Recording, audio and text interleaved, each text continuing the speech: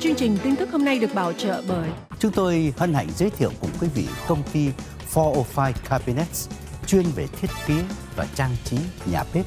Chin và Kim Thu Chơi, nơi duy nhất bán vàng 4 số 9 có in hình bản đồ Việt Nam 714 985 9999 và 714 657 7866. Happy Too Easy chuyên bán nệm cao su cứng chống đau lưng sản xuất tại Mỹ 714 897 6100 và 714 487 7889. Nature Medic Fucodan độc quyền kết hợp với AHCC góp phần tăng cao hiệu quả khi sử dụng.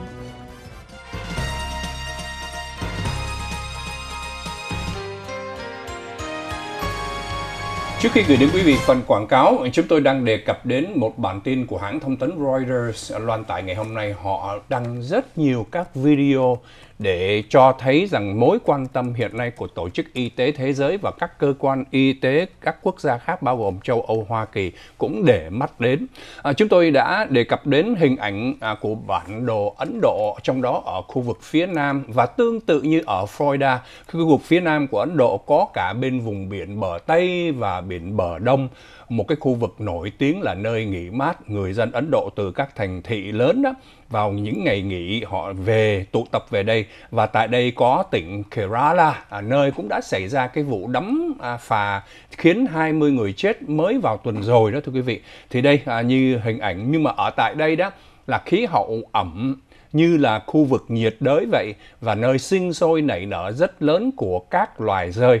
Thế nhưng trong thời gian hiện nay đó họ tin tưởng và đây là một trong những đoạn video của hãng thông tấn Reuters à, đưa ra Global Pandemic Bats Spill Over có nghĩa là nguy cơ đại dịch từ con rơi này. Ờ, chúng chỉ ăn trái cây, rau quả trong rừng thôi. Nhưng mà theo hãng thông tấn Reuters họ nói do cái tình trạng mà à, thành thị phát triển cho nên chúng càng ngày càng bị đẩy ra khỏi các khu vực hẻo lánh. Tương tự như uh, chúng ta uh, sống ở quận cam rồi phát triển dần dần đẩy về phía Riverside đó thì quý vị thấy trước đây là những cái khu vực nhiều rừng rậm nhưng mà càng à, việc phát triển mà di dân đó thì khiến cho người dân đẩy vô trong các khu vườn của các con rơi nó sinh sống. Chúng quen dần bởi vì à, chúng không thể bay đi những nơi khác để ăn à, à, các quả trái cây được trứng vẫn sống nán lại. Và cách đây không lâu đây là hình ảnh của gia đình một à, người gốc Ấn Độ kể lại là trong làng của anh 20 người. Cái chuyện này đã xảy ra từ năm ngoái cho đến giờ phút này. Không liên quan tới đại dịch coronavirus nhưng có tiềm ẩn. Và đây là những hình ảnh mà anh là nạn nhân sống sót kể lại đó là người anh của anh có khu vườn và một cái ngày đó anh đi ra làm vườn bình thường thì anh đã bị nhiễm một cái dịch của con rơi. Họ nói rằng trong con rơi đó nó ăn xong rồi nó nó tiểu nó um, giải phân ra và kể cả trong miệng cũng có nước giải nữa. Và lúc nó bay đó mà người ta đi vào làm vườn mà cái nước giải nó nó rơi xuống người nó thấm vào người đó là bị nhiễm bệnh.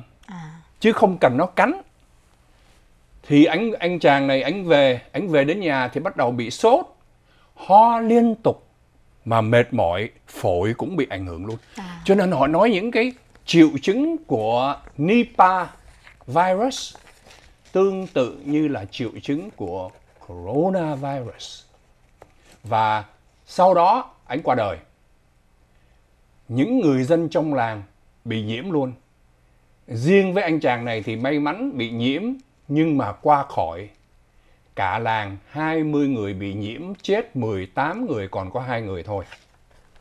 Thì cái chuyện đó à, được coi như người ta quan tâm bởi vì lúc đó Ấn Độ gặp nhiều khó khăn cho nên họ không có à, loan tải những cái tin này. Họ chỉ báo cho tổ chức y tế thế giới biết thêm chi tiết. Rồi sau đó thì đại dịch xảy ra từ 2020 và cái tin tức đó cho đến giờ phút này thì người dân của vùng Kerala họ nói cái chuyện này đó ở khu vực này đã có cái loài rơi mà cho đến giờ phút này bởi vì à, không có cái tình trạng đại dịch mà cái cơ quan y tế của Ấn Độ thì thiếu kém những cái vật liệu hoặc là cái cơ sở hạ tầng. Và vì thế họ không có đi tìm cái thuốc chủng tương tự như ở Hoa Kỳ, Đức, Pháp vân vân chạy đua để có được các loại thuốc chủng của Pfizer, vân vân, Moderna. Mà ngay lập tức là trong vòng có mấy tháng thôi là nước Mỹ đã có các loại thuốc chủng nhanh chóng vô cùng. Thì hiện nay chưa biết được bởi vì họ chưa có thử nghiệm, chưa có diễn ra đại dịch nhưng mà thế tổ chức y tế thế giới lo ngại đây có thể là mầm móng của coronavirus trong tương lai. Và vì thế, ngay trong thời gian này đó, theo hãng tin Reuters, à, các à, tổ chức à, trong đó y, y tế thế giới đang à, đôn đáo tìm hiểu xem các loại thuốc chủng của Pfizer, Moderna trong thời gian qua liệu rằng có thể hỗ trợ để trị cái Nipah virus này hay không. Và nếu có thì sẽ làm giảm cái nguy cơ mà đại dịch xuất phát bởi vì họ đang đi tìm khắp nơi thì họ thấy rằng những cái động vật mà di chuyển như loài rơi này và nhất là những cái khu vực mà người dân kéo tới sống và đẩy chúng ra khỏi cái khu vực mà chúng đã sinh sống trước đây đó là cái nguy cơ người sống gần với các loài uh, cầm thú có nguy cơ mang theo mầm bệnh và loài rơi này mang theo mầm bệnh đó và lây lan cho người. À, bản tin ghi nhận đó là cái việc ho rõ ràng nó bay vào trong không khí và lây nhiễm cho những người khác ở trong làng này. Nhưng mà riêng à, bản tin này thì cho thấy nó chưa có lây lan mạnh ra khỏi cái tỉnh Kerala trong thời gian qua. Và um, quay trở về bản tin Hoa Kỳ thì à, thưa quý vị vào ngày hôm qua đó có một cái đoạn video clip quay được một cái cảnh mà bây giờ đó uh, nó gây ra một cái sự bực tức của người dân ở khu vực Texas đó là uh, cho thấy bây giờ nhiều người đó họ tố cáo là chính quyền của ông Biden à, cho mở cửa cho di dân lậu đi vào. Bởi vì cái hình ảnh này đó thì nó không thể nào mà à, tự biên tự diễn được thưa quý vị. Thì ở cái cái khu vực này đó là cái phần đất ở bên tay trái là đất tư nhân. Còn ở bên này đó là cái khu vực đường biên giới. Thì cái cái cái cái phần cái chỗ này đó bây giờ cái người chủ của phần đất này à, ông này ông claim là à, cái đất đó của ổng đó là à, giống như là cái cổng lúc nào cũng khóa hết trơn mà khóa à, rất là nhiều lần. Thì bây giờ không à, cái đoạn video này đó à, không biết là quay từ khi nào à, nhưng mà à, quay vào ngày hôm qua nhưng mà ý quay từ khi nào đây là à, cái lúc mà ai mở cái cổng này ra thì không biết. Chị thấy đó như quý vị thấy là à, một cái người à, phụ nữ, cô này cũng mặc đồ của vệ binh quốc gia.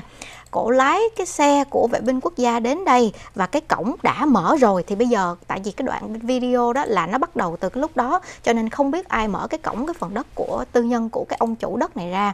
Và khi mà cô này cổ mở như vậy đó, thì là bắt đầu có hai, ba cái xe bus màu trắng đậu khúc bên này lát nữa quý vị sẽ thấy có xe bus. Thì thế là di dân bất hợp pháp cứ từ ở bên này. rất là bình tĩnh xếp hàng đi vào như quý vị thấy. Và cô này cô đứng rất là thông thả. Thông thả. Cổ nhìn như quý vị thấy đó. Và khi mà oh, lên đây một cái đó là có xe bus ở khúc này lát nữa quý vị sẽ thấy đó. Có rồi, lính bảo vệ nữa. Đó đúng rồi.